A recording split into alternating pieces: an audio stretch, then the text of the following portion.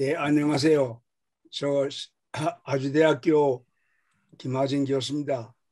아, 제가 처음에 얘기도 어, 제가 CG에 관계된 얘기를 하라 했는데 마침 신성현 교수가 계시기 때문에 그건 맡기고 제가 내, 내년이면 태어나서 저 범띠 저거 범해에 태어나는데 여덟 번째 범띠를 만나게 됩니다.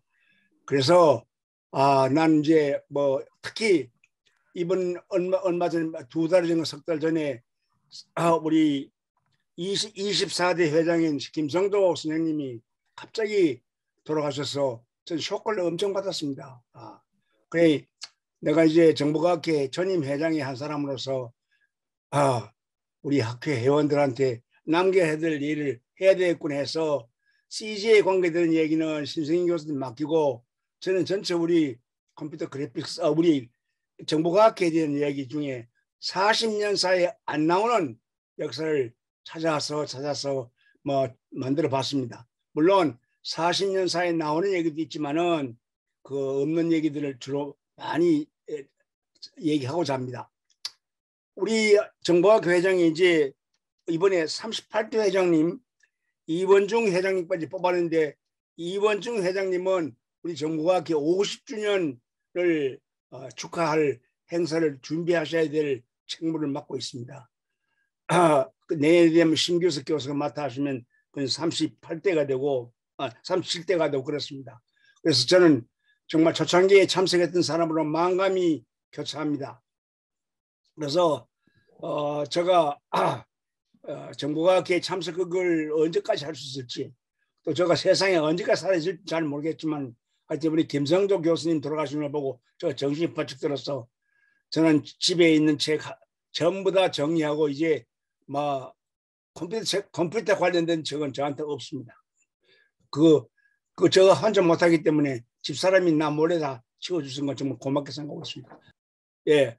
저는 그래서 우리 학회의 설립 배경 얘기를 말씀드리고 정보과학회 시작된 부분에 대한 얘기도 하고 저는 학교 회장으로서 정말 사목이 없어 쩔쩔매던 시절이 있었기 때문에 그 사목 우리 지금 참 부자입니다.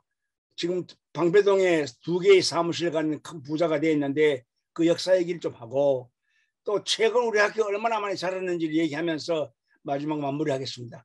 우리나라 최초의 데이터 처리 시스템 시도는 1960년 제가 1961년에 대학을 나와서 졸업했으니까 60년 12월에 실시된 국세조사 센서스의 처리 결과를 IBM PCS 어? 펀치카드 시스템을 도입한 게 처음입니다.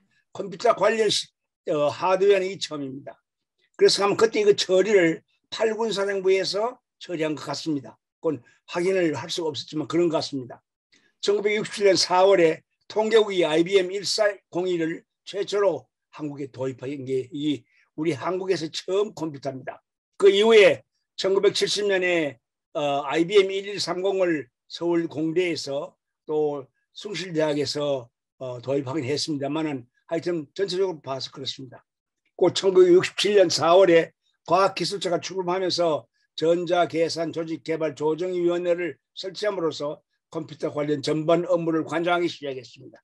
그래서 행정적으로는 사실상으로 저 과학기술처고 실제 기술상으로는 통계국이 했다고 저는 생각하고 정규 4년제 대학에서의 컴퓨터 교육관리 학과에 시작한 1970년 숭실대학교 지금 숭전대학이 그때는 숭전대학입니다. 숭실대학교 공과대학의 전사 전자계산학과 신입생 30명을 선발했답니다. 지금 이 그때 30명 중에 지금 활동하고 있는 분은 한 15분 되시는 것 같은데 얼마 전에 좀 뜻있는 모임을 했다는 소식을 들었습니다. 1972년 전자계산학과를 개설한 다섯 개 대학. 그게 뭐 예를 들면 숭실대학, 그 다음에 아, 저 홍익대학, 동국대학, 그 다음 중앙대학, 그 다음에 광운대학. 소장을 발기인으로 해서 전자계산학교를 설립했으나 거기에 승인을 받지 못했습니다. 그래서 이, 게 우리 정보과학회가 출발한 출발한 어, 배경이고요. 우리 학회는 처음에는 한국정보과학학회였습니다. 좀 이상하죠? 학자가 두 번 들어갑니다. 정보과학학회 라는 그건 이제 그때 Korea Information Science Society KISS라는 이름으로 정보과학 목적이 정보과학에 관한 모든 학술적 응용적인 이론과 기술의 개발 발전 및 회원 상호 간의 친목을 도모할 목적으로 1973년 3월 3일 이 성균관대학교 강당에서 350명이 모여서 학회 정관을 채택하고 초대 회장으로 KIST 한상준 박사님을 모시고 당시 우리 회원의 수는 정회원이 430명에 학생회원 30명으로 출발했습니다. 4월 7일에는 KIST 회의실에서 1차 이사회를 개최하고 한상준 초대 회장 취임식을 갖고 학회 조직을 확정했습니다. 이때 분과위원회가 된 게 다섯 개 했습니다. 그리고 5월 5일에 학회 소식지 창간호를 문화공보부 등록을 거쳐서 8월 31일에 학술 논문을 수록한 한국정보과학회지 창간호를 만들었습니다. 논문집 1호입니다. 네, 그리고 7월 13일 같은 해 7월 13일에 KIST 강당에서 제1차 정기총회 및 학술 기술 강연을 개최했는데 이때 이름을 정보과학 학회를 정보과학회로 변경했습니다. 그래서 우리가 한국정보과학회 명칭에 그 앞에는 학자가 하나 더 붙어 있었습니다. 그 다음에 7월 12일 KIST 강당에서 개최된 제3차 정기총회에서 고려대학교 서남원 교수님이 제2대 회장으로 선출되고 초대 항상, 한상준 회장님을 명예회장 그래서 명예회장 제도가 시작되었습니다. 1970년도 중반에 이후에는 학회는 제일 문제가 재정 문제였습니다. 이걸 타결하기 위해서 순수 학술 활동 이외에 산학을 꾀하는 등 적극적으로 활동을 전개해서 분과위원회를 9개로 확대했습니다. 1977년 8월 8일, 10월 8일에 과학기술처로부터 사단법인 한국정보과학회를 정식으로 등록하고 12월 19일에 서울 민사법원에 어, 민사법원에서 사단법인 등기를 완료함으로써 명실상부한 학회의 출발을 했습니다. 1973년 8월에 타이페이에서 개최되는 ICS International Computer Symposium과 1977년 8월에 토론토에서 개최된 IFIP의 대표를 그때 어, 타이페이는 4명, 그 다음에 예, 토론토에는 6명 파견하는 등 학회의 시작과 동시에 본격적으로 활발한 국제 교류에 참여했습니다. 우리 학회의 영문 명칭은 처음에 처음에는 KISS였는데 2006년 10월 3, 아, 10월에 세종대학에서 개최한 제33회 정기총회에서 Korean Institute of Information Scientists and Engineers로 바꿔서 지금은 KIISE로 변경되었습니다. 그전에 KISS라 했기 때문에 정말 그 여자하고 남자 하는 키스로 오해받는다 해서 말이 많았는데 2006년부터 바꿔졌습니다. 자, 이게 에, 참 제가 고심해서 조사한 건데 우리 사무기 초창부에는 첫 번째 사무국은 고려대학 경영관에서 517호에서 어, 출발했습니다. 이때는 한상준 박사님이 KIST에 이런 외부 기관에 어, 어, 들어오지 못했고 그 당시 우리 KIST는 굉장히 중요한 국가 기관이었기 때문에 아무나 출입이 불가능해서 할 수 없이 부회장에 계시는 고려대학교 경영관을 출발하고 4년간 있었습니다. 두 번째 사무국은 뭐 이제 부회장이 저, 저 부회장께서 서남원 박사님께서 회장이 되셨는데도 그걸 계속 사용할 수 없기 때문에 할 수 없이 탑 컴퓨터 학원이라고 탑골 공원 파고다 공원 앞에 있는 어, 그 학원의 정홍식 원장실을 우리가 4년간 또 사용했습니다. 이때 정말 참 우리가 비참했습니다. 저도 그 사무실에 여러 번 갔지만 정말 뭐 좀 그랬습니다. 뭐 그때 회계 장부 뭐 이런 것좀 정말 지금 말 우리끼리 얘기지만 정말 참 엉망이었다고 감히 말씀드릴 수 있습니다. 세 번째 사무국은 강원대학교 심지영 교수님 당시 부회장이셨기 때문에 연구실을 우리가 2년간 사용했습니다. 이 첫 번, 두 번, 세 번째는 사실상으로 우리가 지금은 굉장히 수치스러운 일을 할수 있겠지만 그 당시는 어쩔 수 없는 일이었습니다. 그러다가 네 번째 사무국 때는 우리 김일창 교수님하고 이철희 교수 그러니까 회장께서 노력하셔가지고 전철 2호선 구의역 3층에 사무실을 인대했습니다. 그게 1983년부터 1986년까지이고 최초로 우리 전담 직원인 이용태 국장을 부임했습니다. 이용태 국장은 어, 과기총회 어, 저 과학기술총연합회에 계시다가 우리가 스카우트해서 이때부터 전임 회사원 어, 우리 사원들이 시작에 있, 게 되었습니다. 그 외에 다섯 번째는 우리 돌아가신 김종상 회장과 이철희 회장님의 노력으로 돈을 객출해서 여기저기 모아다녔습니다. 그 당시 저는 사업이사였기 때문에 돈 수금하러 돌아다녔습니다. 그래서 돈을 좀 모을 수 있었기 때문에 그거 가지고 지금 방매독 사무국을 구입했습니다.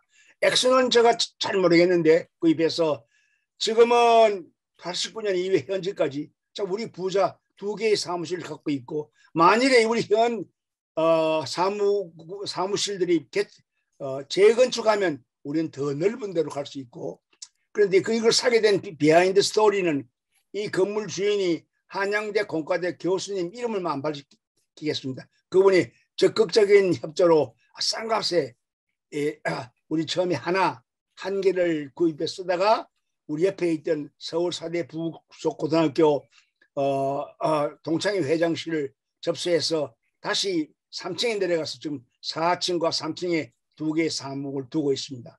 우리가 이 이걸 볼 때 참 학교가 많이 자랐구나 하는 생각이 들고 초대에는 마땅한 장부도 없고 마땅한 회의실 어, 회의록도 없고 그렇게 지났던 시절이 있었는데 비로소 1983년부터 그나마 학회에 여러 가지가 셋업되지 않느냐 생각합니다. 그리고 지금 오늘날은 여러분이 한 질문 을 할게요. 우리 정보학 사무국에 사무직원이 몇 분인지 아세요? 아는 사람 없어요? 처음에 한 분 모셨다가 우리가 이사회를 통과하고 난 뒤부터 지금 현재 우리 방배동 사무국에 우리 여덟 분이 계십니다. 그런데 남자 한 분 이런 얘기는 좀 이상하지만 남자 한 분 여자가 일곱 분입니다. 정말 이렇게까지 크게 된 것은 우리 모든 회원들의 후원과 좀 전임 회장님들의 노력의 결과로 해서 저는 정말 기쁘게 생각합니다. 최근에 우리 학교는 어 제가 아, 어, 작년에 우리가 사실 코로나 때문에 학교가 굉장히 위축되어 있는데 그 코로나 작년 이전인 2019년에 우리 피닉스 평창에서 하는 것을 통해서 살펴보기로 하겠습니다.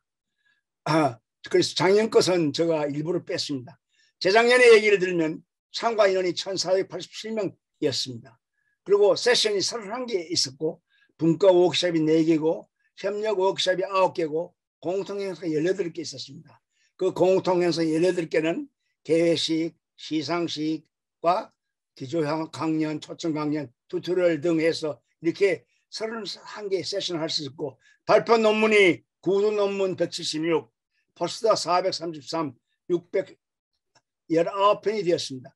우리가 참가 인원이 1000명이 넘을, 넘는 것이 제가 회장하던 1991년 그때가 처음이었습니다. 그리고 2000명 넘을 때도 있었습니다. 그런데 그건 장소에 따라 제주도 살 때 제일 많이 20명 넘은 일도 있었는데 정말 그 밑에 빨간 것이 상전께 어, 뽕나무 밭이 푸른 바다가 됐다고 생각할 수 있습니다. 정말 자축해야 된다고 생각합니다. 내년도 회장님인 이원은 교수님은 우리가 50주년을 맞이하는 때의 회장님이신데 그리고 내년이 어, 우리 범의 해입니다. 범때. 근데 내년이 1922년이 어, 아, 아 미안합니다. 이, 이, 내년이 22년이고 23년에 어, 우리 죄송합니다. 그 이 회장께서 50주년 행사를 해야 되고 그런데 제가 하나 말씀드리고 싶은 것은 내년 2022년이 어, 검은 어, 흑호 검은 버, 어, 저 범의 해입니다. 저는 저가 범띠이기 때문에 내년이 되면 세상에 태어나서 여덟 번째 범의 해를 맞는데 내년에 그참 범의 검은 범은 이게 상징의 상징의 동물입니다. 세상에 검은 범이 없습니다. 표범도 검지는 않습니다. 그래서 이게 아마 우리 아, 10간 12지 중국의 도교에 있다면 상당히 공상의 검, 어, 동물들을 인용했는데 검은 범위 해에 우리 어, 정부과학회가 한 번 더 일치월장할 수 있는 기회가 되길 바라고 오늘 어, 내일 저녁에 우리 간추리 할때 어떤 분이 축, 어, 그, 축배할 때는 꼭 그 얘기를 50주년을 위해서 우리 50주년은 내년 후내년이거든 2023년이거든요. 이해를 크게 자축하고 좋은 모멘트가 될 수 있기를 희망합니다. 이제 마무리하겠습니다. 아, 마무리할 시간이 되었습니다. 곧 우리 학교가 신살이 됩니다. 2023년이면 됩니다. 이제 정말 원석은 작년이 되었습니다. 초심을 잃지 않고 열심히 백살하게 쉬지 않고 뛰어야 합니다. 우리가 공부하고 연구 개발을 이래 이론과 기술은 어느 특정 분야에만 북한내 있는 것이 아니라 거의 모든 분야에 기초화되어 일적인 상대를 설득하고 설득해야 하는 폭넓은 학문입니다. 이 설득에는 무엇보다 우리 겸손이 절대적입니다. 이를 명심하고 상대를 설득하고 이해하는데 힘이 심리를 기워야 한다고 감히 말씀드립니다. 아, 첫째 겸손, 두 번째는 1960대 시작한 인터넷 시대 음, 갑니다. 어, 인터넷에 대해서는 우리 정길남 교수님이 한국에서는 인터넷 창시자인데 아, 1960대 시작한 인터넷 시대는 가고 곧 메타버스 시대가 온다고 합니다. 뭐 혹자는 5년 뒤에 온다고 합니다. 그러니까 1960년 시작한 아, 인터넷이 1980년대에 PC가 나오고 1996년도에 아, 아, 저뭐 스마트폰이 나옴으로 인해서 이제는 어쩔 수 없이 2D 기반의 영상이 3D 기반의 영상으로 갈 수밖에 없어요. 3D 기반의 영상의 핵심적인 얘기가 메타버스거든요. 그래서 1990년대 시작한 스마트폰이 큰 역할이 있다고 생각합니다. 그래서 우리의 목표는 범용입니다. 이, 저 어, 인터넷보다 더 큰 범용은 우리는 뭡니까 메타버스라고 저는 생각합니다. 저는 뭐 메타버스가 전공자는 아니지만 그동안에 가상현실에 대해서 좀 공부해온 사람으로서 이제 앞으로 우리가 할 일이 엄청나게 많이 있습니다. 아, 지금까지 2차원 세계에서의 우리의 놀이터가 이제 3차원으로 바뀌고 아, 이제 6G가 되면 더 할 것입니다. 그래서 우리는 목표는 범용입니다. 그래서 우리 목표는 겸손해야 되고 범용해서 정말로 2023년 50년부터는 일치 월장에는 우리 학교가 되기를 간절히 소망하면서 저 말씀을 끝내겠습니다. 감사합니다.